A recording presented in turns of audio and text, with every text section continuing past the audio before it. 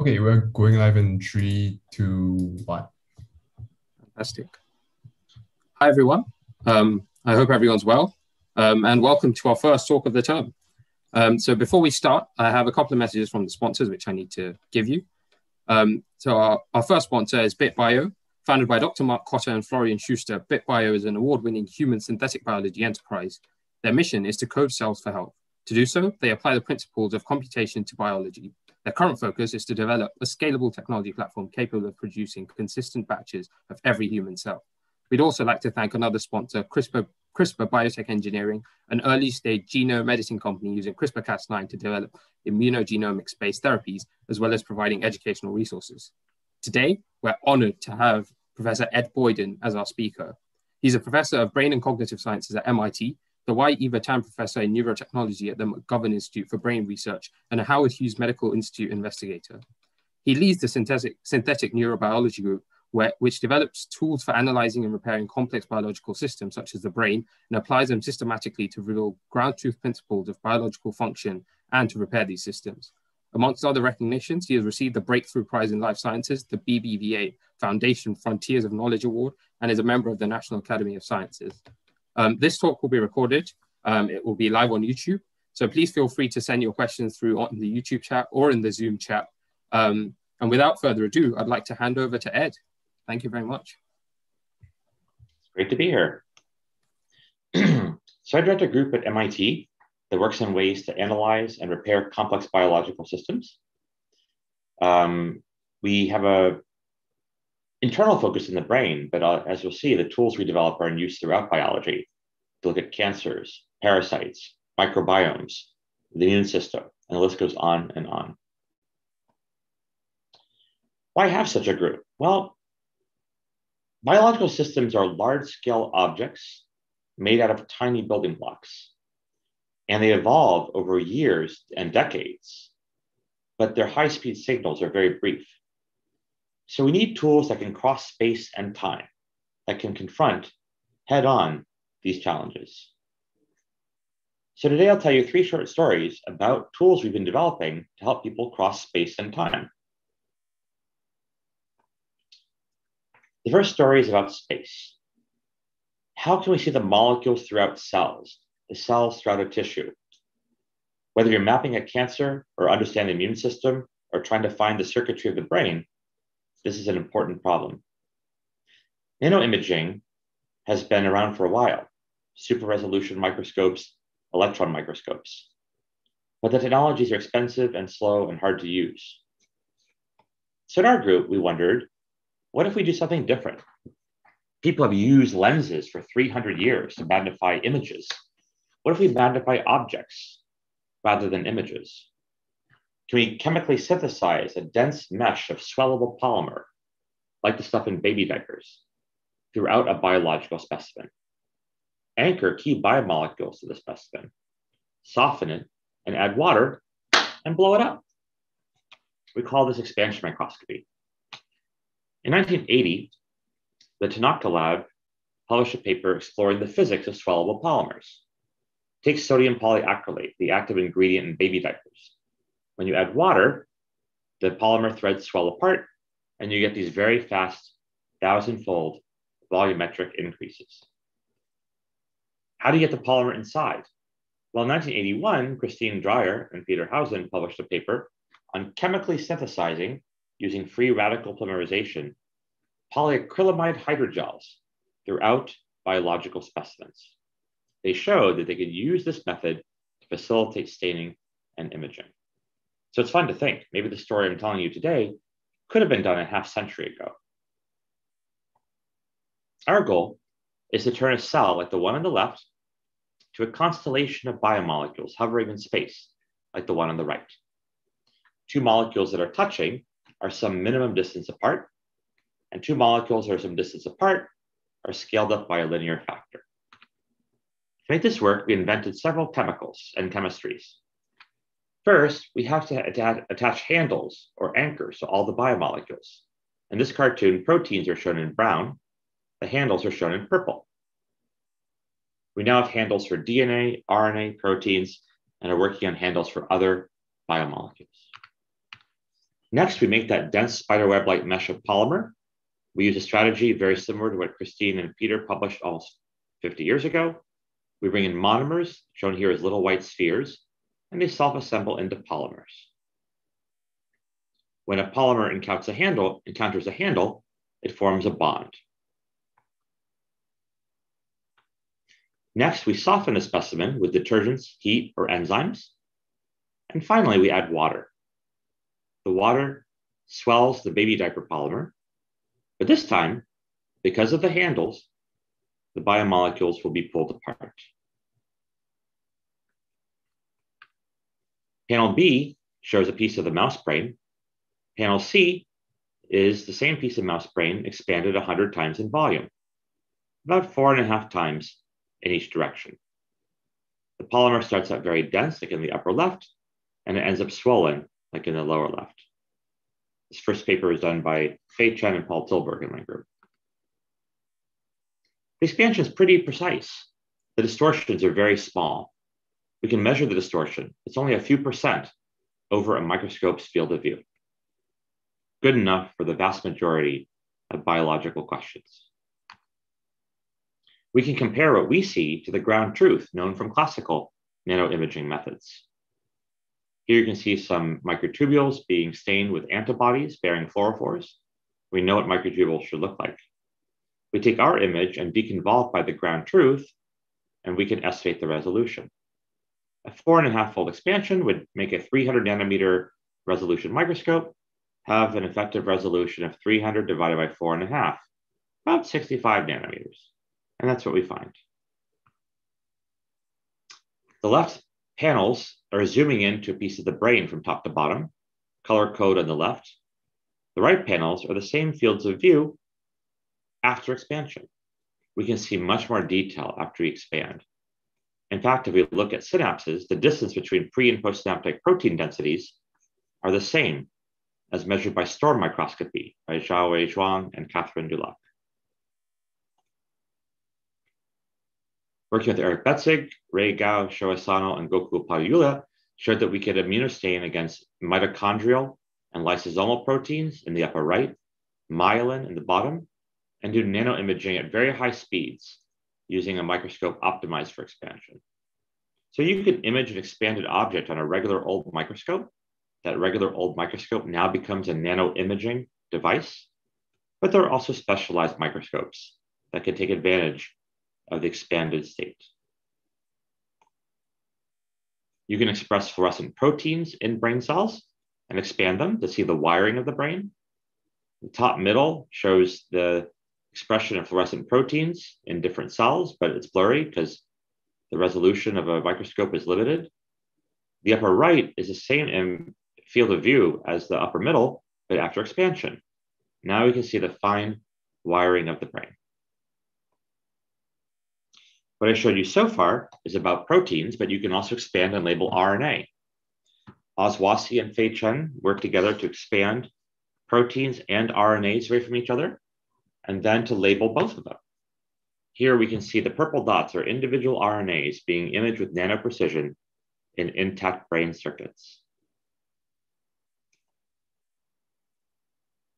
In work spearheaded by Shahar Alon, Dan Goodwin, Anu Sinha, Oz Wassie, and Fei Chen, we showed that we could expand and do multiplex RNA imaging.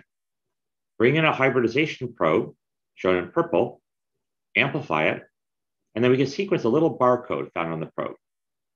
This can be done for dozens of genes at once in a tissue specimen.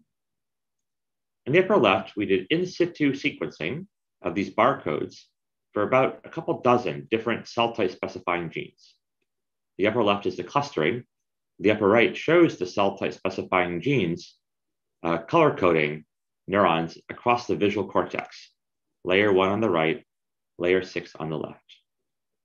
So now we can see the location and gene expression of cells. The nanoimaging capabilities of expansion also let us pinpoint where these genes are expressed with nanoscale precision in intact brain circuitry. Here we use data from Erin Schuman and others to pinpoint where individual RNAs are expressed in dendrites and spines of neurons. As you can see, many genes are expressed in nanocompartments of cells. We can look at other things than brains. Here with Aviv we looked at a breast cancer metastasis to the liver from a human cancer patient. We found that we could figure out how cells are organized in 3D space. Certain immune cells cluster, for example. If a certain immune cell is near a tumor cell, it upregulates its gene expression of a specific gene, S100A8. In the lower right, when a tumor cell is near a fibroblast, it vastly upregulates a gene that encodes a hypoxia related factor. So we can map out gene expression in 3D with nanoprecision throughout tumor biopsies. By the way, we can sequence not just RNA, but also DNA. In a companion paper, Andrew Payne, Zach Chiang, and Paul Reginato, working with my group, Jason Buenrostro's group, and Fei Chen's group, showed that we could do in situ genome sequencing as well. So now we can see not just gene sequences in the nucleus, but how the genome is organized. When JB Chang was a postdoc in the group, we showed we could iteratively expand. Take a specimen, polymerize and expand it, form a second polymer in the space opened up by the first expansion, and expand it again. That lets you get very good magnification. Deblina Sarkar, Jinyoung Kang, and Oz Wassie with great help from Margaret Schroeder and also Mucha Emanari and Christina Kitko have built important versions of this technique, made a version that uses all off-the-shelf chemicals. This has an additional benefit. It decrowds or separates proteins from each other, so we get better labeling. In the top row of the cartoon, antibodies can only get to the outside of a protein cluster. But in the bottom row, after you separate proteins from each other, you can easily stain for proteins in the middle of a protein complex. That allows us to look at synapses with great precision. For example, in panels B, C, and D are proteins that are hidden. They're in clusters, so protein uh, antibody stains cannot access them. Yellow is pre-expansion staining, and purple is post-expansion staining. And yes, there's not much yellow. But after you expand, um, you can see much more in the magenta. Not all proteins are crowded. In F, G, and H, the yellow and purple look more similar. Amyloid plaques, for example, are thought to be involved with Alzheimer's disease. They're very densely packed. If we expand them, we get better labeling. Yellow is pre-expansion staining and magenta is post-expansion staining of these Alzheimer's model mice. In fact, we even see these tiny amyloid dots as shown at the bottom. This is true for multiple separate antibodies, and we did not see them in wild type mice. We can also develop better polymers. One thing we're working on right now is tetrahedral hydrogels that form diamond-like lattices. Ray Gao and Jay Yu in our group showed that we could potentially expand much more precisely with such a hydrogel than with the earlier methods, getting single digit nanometer accuracy on a conventional microscope. You can apply this not just to brains, but all sorts of other tissue types. In work done by Yongxin Zhao and Octavian Bucur, we showed that we could expand human prostate, lung, breast, pancreas on the left, normal, and on the right, cancer containing, and get better resolution. Expansion microscopy is in very widespread use. Almost 250 experimental preprints and papers have come out. It's being applied to the microbiome, the kidney, plant seeds, mapping where viruses are. The list goes on and on. And really easy, step-by-step cookbook style protocols are on our website expansionmicroscopy.org. Here are some examples of how much explanation we give about the protocols. How to handle cover slip, how to handle the gel expanded samples. We really want to democratize nanoimaging. So in summary, the first part of the talk, we've discovered that we can physically magnify objects. This lets you do nanoimaging on regular microscopes. It can be applied to look at RNAs, proteins, and other kinds of biomolecules. And the precision is extremely good. Finally, the protocols are very easy to use and use all off-the-shelf chemicals. So please give it a try. After all, biology is fundamentally about nanoscale building blocks and how they interact. Seeing them is very important. Now, the limit of expansion microscopy, of course, is you cannot do it on a living thing. So the next part of the talk, I want to transition to the imaging and control of living objects. Let's start with optogenetics, a way of controlling brain activity with light. This started when Carl Deisseroth and I were both students at Stanford. We went through all the laws of physics, trying to figure out how you could control neural activity precisely. We thought light would be the best because you could aim it at cells. You could bring light into the brain with an optical fiber, for example. But how do you convert light into electrical energy? Well, it turns out all over the tree of life, you can find microbial molecules that convert light to electrical signals. In the lower left, a light driven proton pump is found in single cell microbes that live in salty water. Shine light, and it'll pump protons across the membrane. The cell then uses that proton gradient to drive ATP production. This was found in the 1970s, and around the same time, a few years later, scientists found light driven chloride pumps. Finally, around the turn of the century, people found light driven ion channels in different microbes. Flash forward to the current day, we now know that all these molecules have representatives that are safe enough, fast enough, and efficacious enough to mediate neural activity control. Brian Chow and Xue Han found that there were certain light-driven proton pumps we could express in neurons, shine yellow or green light, and the neurons would then pump protons out, thereby silencing them. Amazingly, although these proteins require a vitamin A relative, all transretinal, to work, mammalian neurons seem to make enough of it, just by sheer dumb luck. Xue and Amy Chuang found light-driven chloride pumps that were safe and fast and effective enough to go into neurons, also to mediate their silencing. And light-driven ion channels can be expressed in neurons to mediate their neural activation. The first paper Carl Deisseroth and I collaborated on, and later Nathan Klapoetke, Or Shemesh, and Yongku Cho and others worked to perfect them. This toolset of optogenetics, opto for light and genetics because it's genetically encoded, is very widespread in neuroscience. It's being used by thousands of scientists to activate brain cells and figure out what they can do, or to turn brain cells off and figure out why they're needed. I wanted to mention this just briefly because it's in very widespread use, and I wanted to tell you about some newer things we're doing. But let me just summarize by saying optogenetics was a lot of luck. These molecules out of the natural world, without modification for the most part, were fast enough, safe enough, and effective enough to mediate neural activity control. But the opposite was not so easy.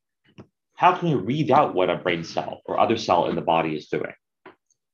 Well, in this case, the natural world has not evolved molecules that are safe, effective, and fast.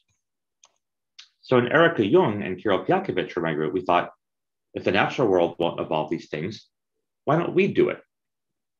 You can take a gene, make millions of mutants, some are better and some are worse for any given goal, express them in cultured cells, and then screen them with a robotic microscope, scanning them and using a robotic arm to pick out the mutants that are better by sucking out the cells expressing those mutants. We did a directed evolution screen to make a fluorescent voltage indicator. In two rounds of directed evolution, we made 10 million mutants of a molecule called Quasar 2 from Adam Cohen's group at Harvard. This is a prototype voltage indicator that they developed. We then screened for molecules that were brighter, better localized to the, to the membrane of the cell, which is where the voltage is, and more stable.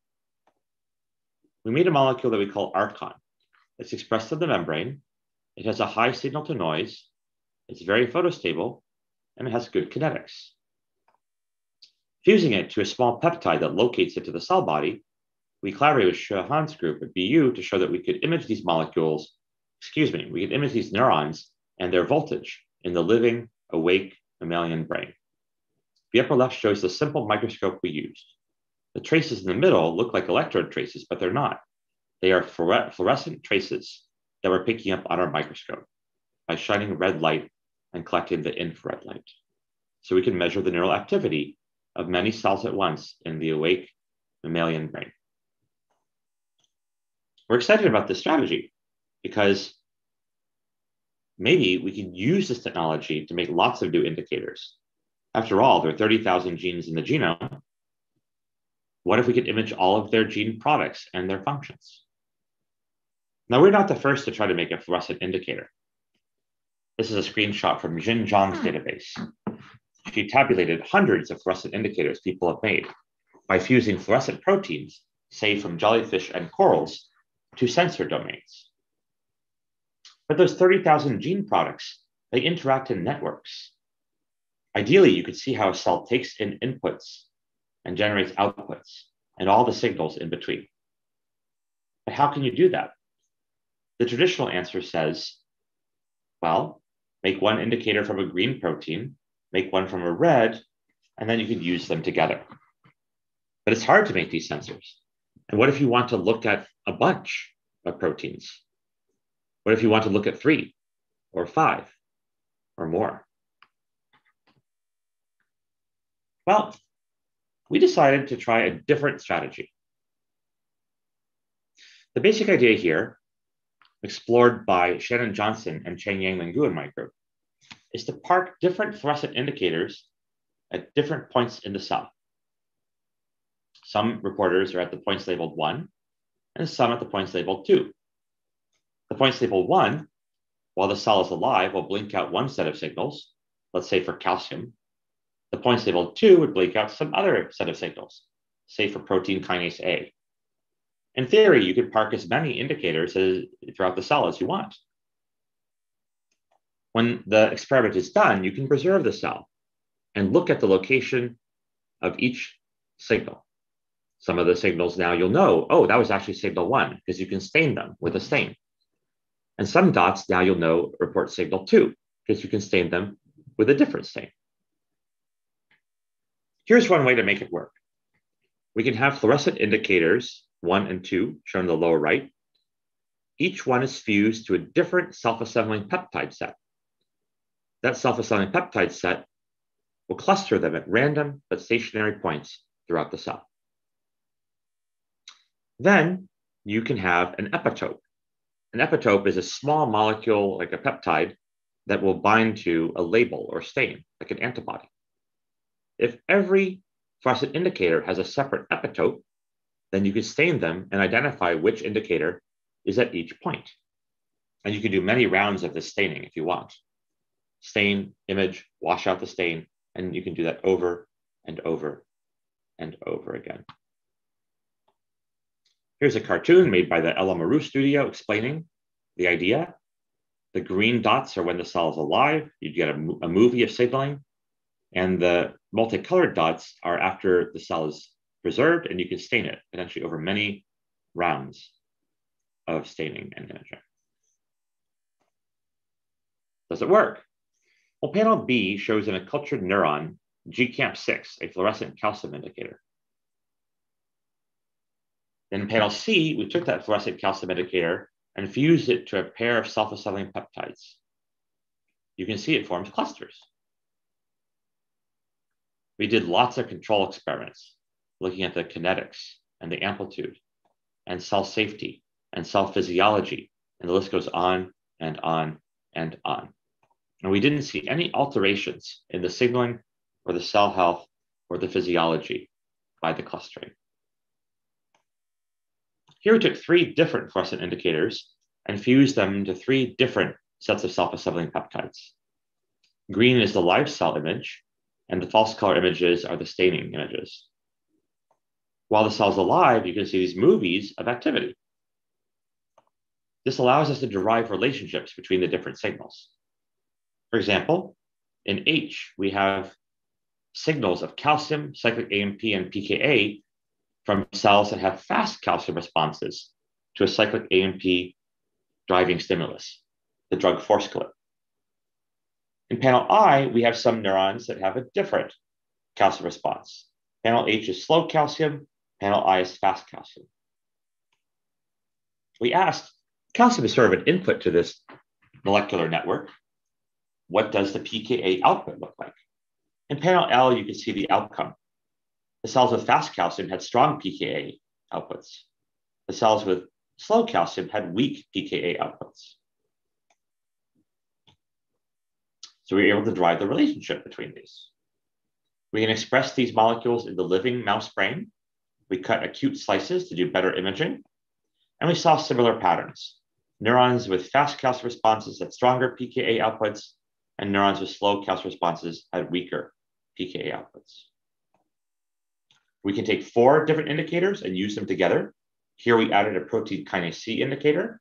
Green is a live cell image. The false color images are when we stain after the experiment is done. And you can see here that we can see four different signals at once.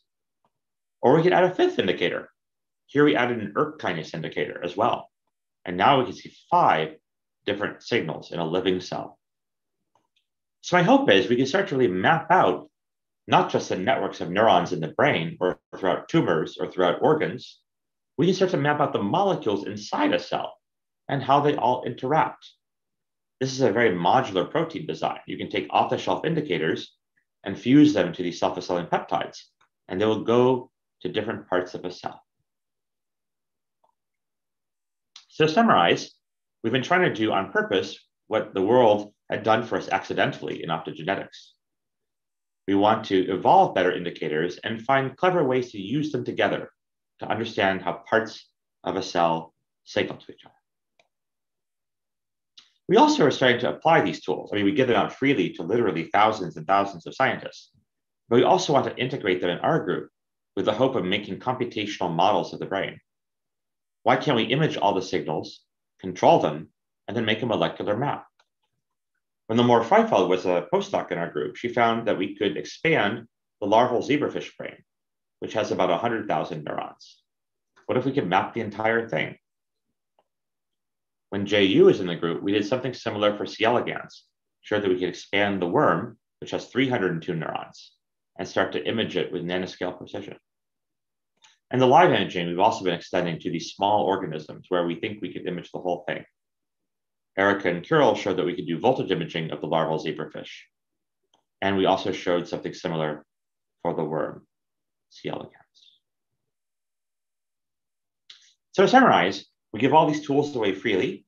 You can visit our website, synthneuro.org, but we also want to integrate these tools so that we can try to understand and maybe even simulate brains in silico.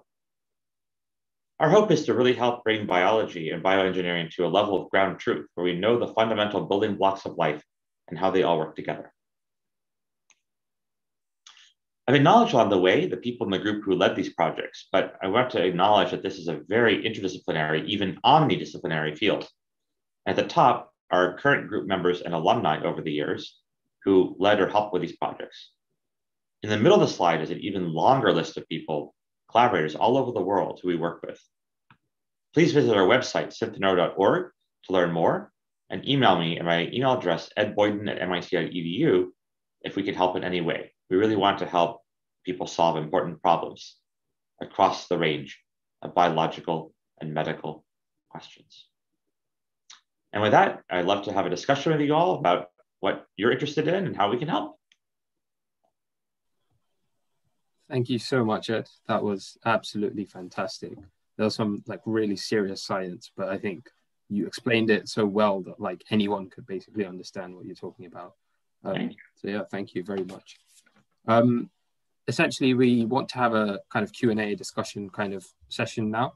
Um, I just want to tell everyone that it's going to be live streamed, recorded on YouTube. So if you're happy with that, then um, if you want to ask Ed your question directly, uh, please use the raise hand function and I will come to you. Um, otherwise, please type your questions in the chat, either in the YouTube chat or in the Zoom chat, and I'll try and compile them um, and uh, them to Ed. So kind of to, to, kick things off, I'll kick things off with my, my own question. Um, and so it seemed like, um, so what you were doing, you, you, you're developing a lot of tools.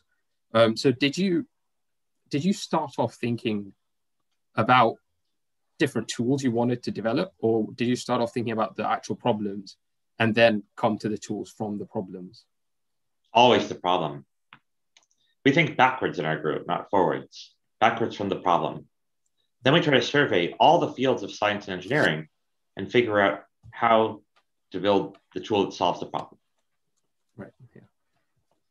And um, was was the brain kind of the inspiration of your research, or was it more of a consequence in the sense that did you go and say, okay, the brain is unsolved, I want to solve it, or was it more yeah. like, okay, amazing. Yeah, my first project was actually computational neuroscience. I wanted to make a model of the brain, but then we didn't have enough data. We couldn't test the model.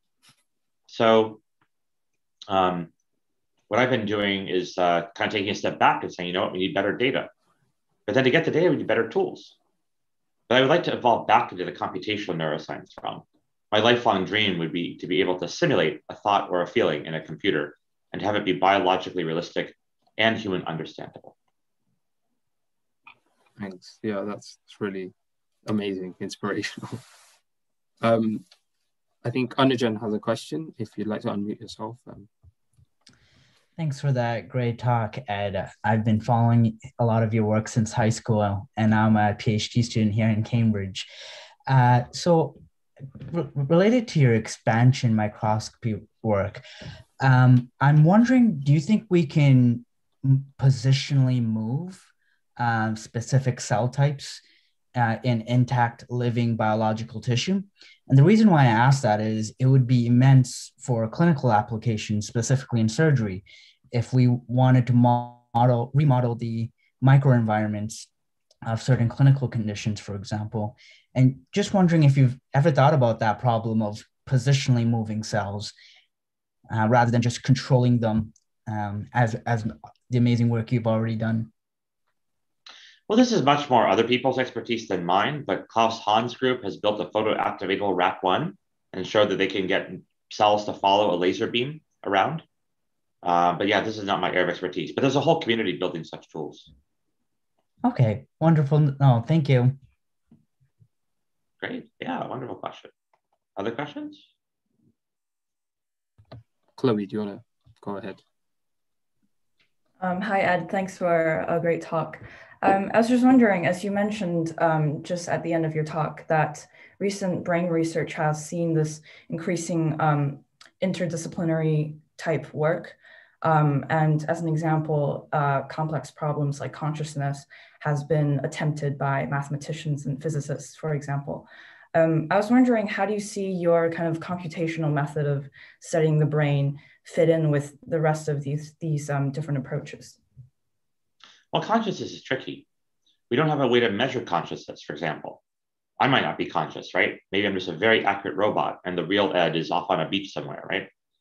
So I think that's the biggest problem is that we don't have an objective way to measure consciousness right now.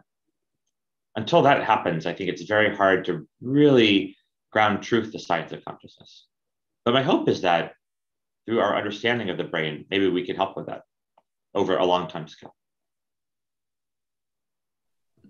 Thanks. Um, and just kind of a quick related question at the end there, you mentioned that um, kind of your dream is to synthesize the feeling of seeing uh, seeing something or an emotion in, the computer. Um, that kind of just made me think of the common objection from um, you know, certain philosophers that mm, the idea that qualia can never be objectively studied by science because you will not be able because science is objective. Um, what do you think of that kind of argument or concern? Well, again, we don't have a measurement device right now that measures qualia or subjective experiences. So that's a valid concern, but I think these are concerns that can be addressed, right? Somehow our brain is measuring conscious experience, right? Suppose I see a green tree and I'm telling you that through my motor neurons and my tongue and my lips that I'm seeing a green tree. Somehow my brain measured my conscious state and now I'm reporting it to you, right? So I think it's possible. It's just that we don't quite know how to do it yet, right?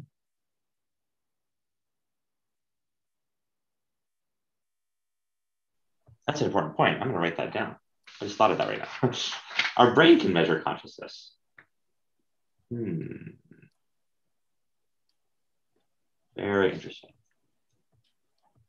Thank you so much. It seems like a interesting pursuit. Um, I think Flavia has a question. I can ask it for you if other if you don't want to um, ask it yourself. Yeah, no, sorry, I didn't realize that we could just ask like this. Oh no, that's um, fine. Go for it. okay. Hi, thank you so much for the talk. So my question, if I can if I can phrase it in the same way now, um, was how do you think computational neuroscience and experimental neuroscience will merge in the future? Some people have suggested that we might have experiments streaming online into computational models to instruct those. Do you think that's a possibility? Well, that's already happened. I mean, uh, yeah. I mean, I, I think neuroscience is reunifying. Yeah. Do you, do, you, do you think you, that will... You go first. Hmm? No, no, I was just going to say, I mean, how do you think, I, I, I know things like that are already underway, but how do you think that will advance, um, I don't know, in the next five years? Well, the most important thing for a computational model in addition to the computational model itself, is to have the right kind of data, right? If data is too crude, then the model will not be able to, to benefit from the data. And what's exciting to me now is this idea of getting down to the ground truth, the fundamental networks of the brain, the fundamental connections, the interactions of the molecules. Those kinds of data are now becoming very possible. Got it. Thank you.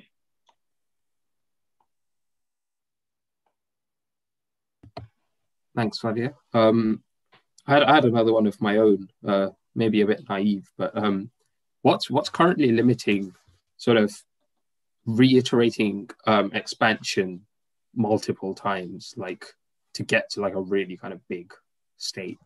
We've done that. You can you can do the iterative expansion over and over again. We had an SFN poster, a Society for Neuroscience poster, a couple years ago where we did 100-fold linear expansion, one million-fold volumetric expansion. So that works.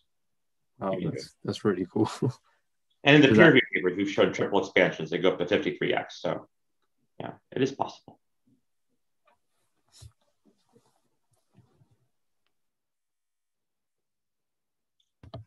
Back to Anujan, if you have a question. Uh, so, uh, and a, a, question related to controlling uh, circuit dynamics rather than mapping. In humans, I work with humans and patients.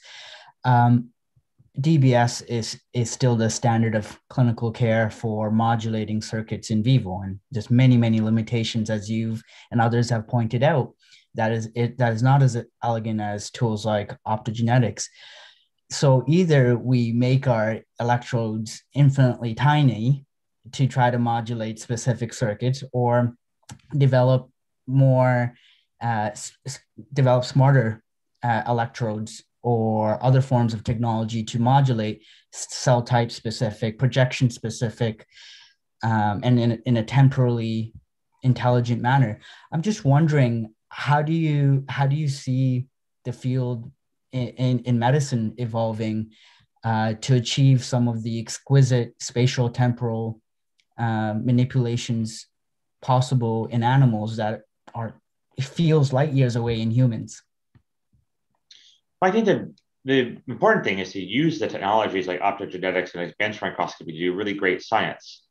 And then from the science, figure out the optimal strategy to help people. I'll give an example.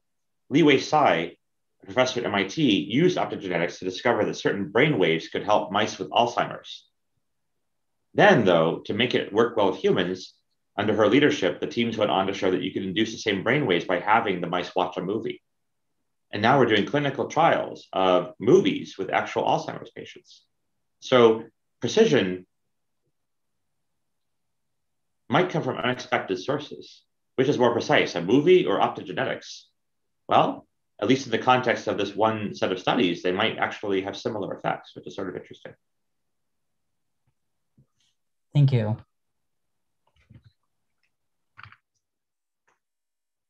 Great. Other questions? Um, Bram, do you want to go ahead?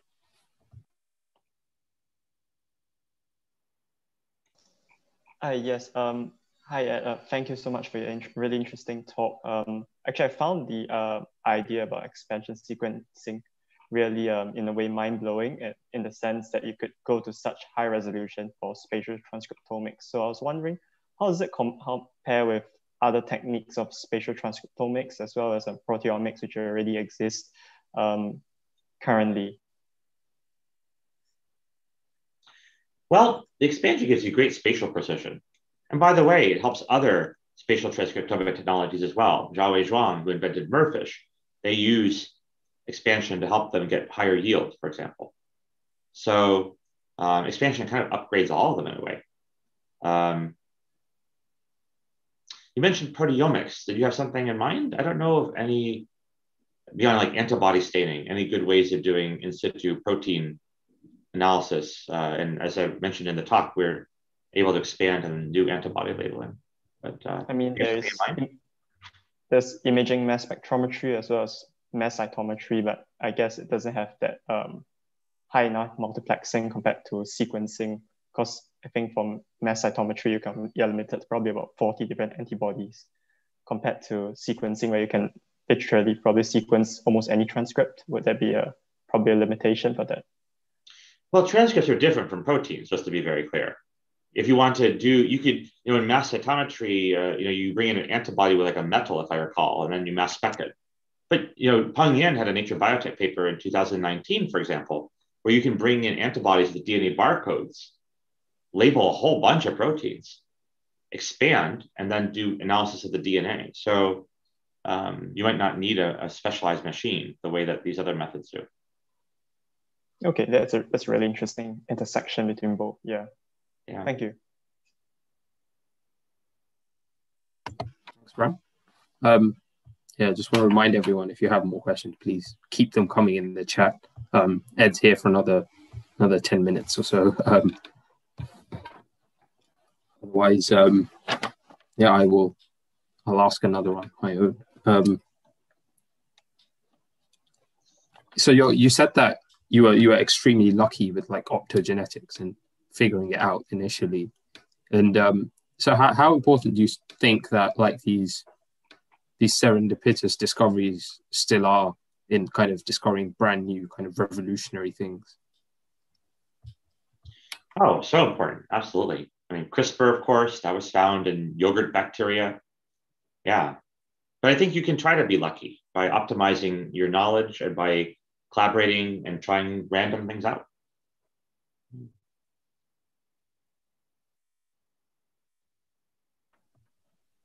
Yeah, thanks. Um, Bram, did you have another question? Uh, your hand still raised. Oh, my bad. Um, I didn't lower my hand.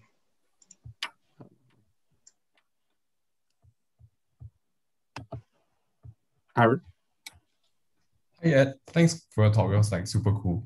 Um, I'm just it's just a more general question, but I guess since a lot of us are like undergrads or like um PhD students, do, would you have any advice for like um like students who are early on in their like research journey and research career? Yeah, I mean, if early on, I, I would say very important to learn the fundamentals very solidly. Things like chemistry, things like computer science, things like physics. Um, I think of biology is built on top of these other fields, so it's very important to to, to really know the, the underlying fields very solidly. That's what I, especially at the undergrad level, that's usually the advice I give them. And now there are new majors like bioengineering, which um, many colleges have, which can give you that knowledge and the biology simultaneously. So there's a lot of a lot of possibility nowadays. Cool. Thanks. Um, Chloe. Mm-hmm. Um, I was just wondering if you're interested in this kind of emergent phenomena of the brain, um, how how did you decide to kind of um, to which direction to approach it from, say, from computational neuroscience or from psychology or from um, mathematics. Um, there's so many ways to approach a very complex emergent problem. Um, and I was wondering if you have any insight on that and why perhaps you chose your field. Well, all the behaviors we study are informed by deep psychological thinking, of course. And then the neuroscience, we have to think of the circuits and the chemicals that make them up and the physical interactions. So I, I would like to think we haven't chosen a field, so to speak, as just trying to go for what's actually there, you know? Fields are human designed concepts. Um, but the, the reality doesn't care what we call the field. But the, all that matters is do we confront reality at its own base value, I guess. I'm not sure I answered your question. Um, so like say the problem of consciousness, I guess you can study it from kind of the feeling of uh, experiencing it or uh, doing it from a kind of psychology, uh, using methods of psychology, or you can kind of look at the neural circuits and the kind of um, chemicals that are being pumped. Um, and there are kind of different scales of looking at the problem. And I suppose in that way, um, you are in a way choosing which which level you'd be viewing the problem at. I guess the question for, for you is what, at the end of the day, when you're finished your work, are you happy with what you've done? For me, I'm a physicist by training. I really want to understand things in terms of the fundamental building blocks. But if somebody's happy with a higher level description that ends without a fundamental explanation, that's totally fine. For me as a physicist, I want to know how everything boils down to the most fundamental interactions possible. It's really a matter of personal taste, I guess. Are you happy with your work? Hmm.